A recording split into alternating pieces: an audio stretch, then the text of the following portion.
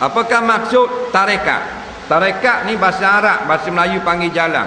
Benda makna satu ilmu untuk kita lalui dalam perjalanan kita ke akhirat. Dan orang lain tak tarekat ke mana? Akhirat belaka. Cuma tarekat ni dia piping. Bila piping jalan comel sikit. Faham tak? Bila orang piping. Neh. Ha. Macam bawa bah. Kita tak pandai bawa bah. Kalau kita bawa uya ayam kali. Nampak? Jadi kita naik bah orang pandai bawa. Jalanan tu le belaka. Faham tak lagi? Ha gitulah tarekat.